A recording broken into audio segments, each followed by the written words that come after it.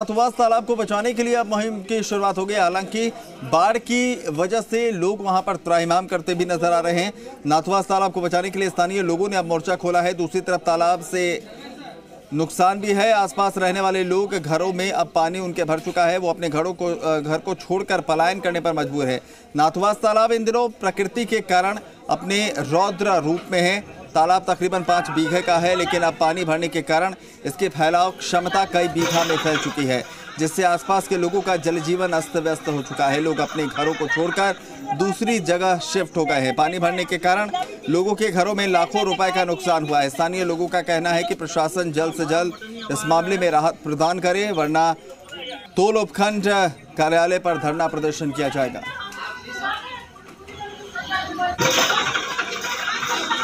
तो तालाब का फैलाव हुआ है और प्राकृतिक वजह से जिस तरह से लगातार बारिश हुई है, उसकी वजह से तालाब अपने रौद्र रूप में है, जिसकी वजह से आसपास के रहने वाले लोगों के घरों में भी पानी भर गया है। तस्वीरें भी हम आपको दिखा रहे हैं, जहाँ पर आप देखेंगे कि किस तरीके की स्थितियाँ वहाँ पर बनी हैं।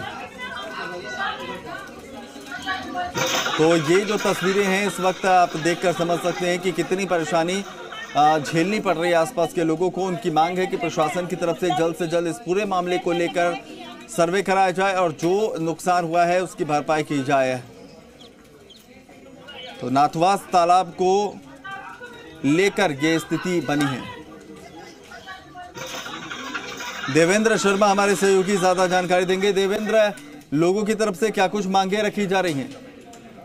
जी बिल्कुल बताना चाहूँगा ये पूरा मामला राजसमंद ज़िले के नाथद्वारा स्थित नाथुवास तालाब के पास का है जो कि कैचमेंट एरिया बताया जा रहा है। तो यहाँ पर कुछ लोगों ने अपने फ्लैट भी खरीदे थे। बिल्डर द्वारा बताया गया था कि यहाँ पे कोई भी ऐसा कुछ नहीं है लेकिन अब उनके घरों में भी पानी आ गया। तो वहीं पास में एक स्कूल भी है। स्कूल में भी पानी पानी आ रहा है। तो अब इसको लेकर वहाँ कॉलोनी वासियों ने कहा कि प्रशासन हमारी मदद करे नहीं तो आने वाले दिनों में जल्दी हम धरने पर बैठेंगे। जी। चलिए, शुक्रिया देवेंद्र तमाम जानकारी के लिए।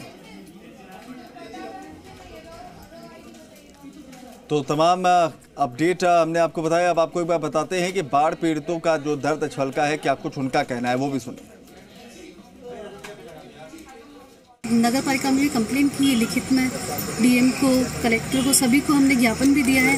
और उन्होंने आश्वासन ज़रूर दिया था, एक दो दिन आके देखा था, लेकिन उसके बाद भी हमने रेगुलर कांटेक्ट करने की कोशिश की बट किसी ने कोई रिवर्ट नहीं किया एटलीस्ट उनको ये भी नहीं लगा कि इनको ना रेस्क्यू करना चाहिए।